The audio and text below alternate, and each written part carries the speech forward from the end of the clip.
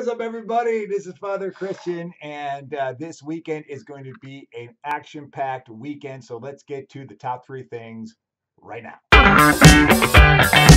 All right, everybody. So check it out. So we got a big weekend coming up. So I don't know if you know this, but this weekend here at St. Mary's, let's tell you, I'm looking at our news and events. That's all I'm doing right now. So you can follow along with me. Uh, the number one thing you got to know is that we have our new members gathering. So if you're new or newish, you know anyone who's new or newish, or if you just want to hang out and talk and have some coffee and some donuts, donuts. When's the last time we had coffee and donuts together? It's been a while. Uh, so you can go to Smith Hall, but let Mark Hier know that's M-B-H-I-E-R 1 at gmail.com. It's in your news and events. Just let them know that you're a new memberish person and want to hang out uh, and save me a donut.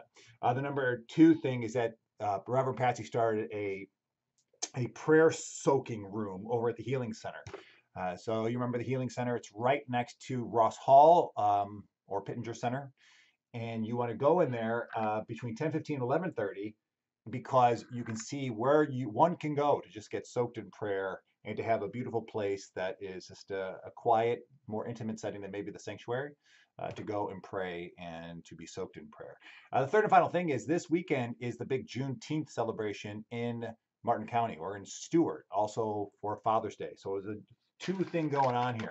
Uh, there is, uh, if you were at CFW, you heard from Mr. Drew, who is the head of a uh, of a fathers uh, program to help fathers in Martin County. So there's Fathers Fest. This is one of his first big things is to get a, um, everyone together to celebrate fathers and also lift up fathers, especially fathers who are needing some some support, some strength from if life has just been kind of uh, a challenge. Um, so we will have a booth between 10 and 12 over at Guy Davis Park. That's next to 10th Street Community Center. Uh, and then also then is Juneteenth. Juneteenth, as we know, is the our annual celebration of emancipation. So it's on June 19th. Uh, so that's gonna be a big deal. So I don't know if, if you remember, there was the Florida Emancipation celebration we had here in East Stuart, and it was extremely well attended, like 100 people. So this Juneteenth one is probably to be even bigger. So all the reason why the church needs to have a table there to be there in the midst of it. We are a missional church. We're constantly going out of our comfort zone into uh, the public square to reflect the love of Jesus Christ. Um, so I need you. I need you to sign up and to be one of the people who will be at our booth, who will represent St. Mary's, to give out wristbands, to give out uh, hugs if you're comfortable with that, or space hugs, or air high five, or just the love of Jesus. Wristbands and sunblock. We're going to be doing a lot of things. Water.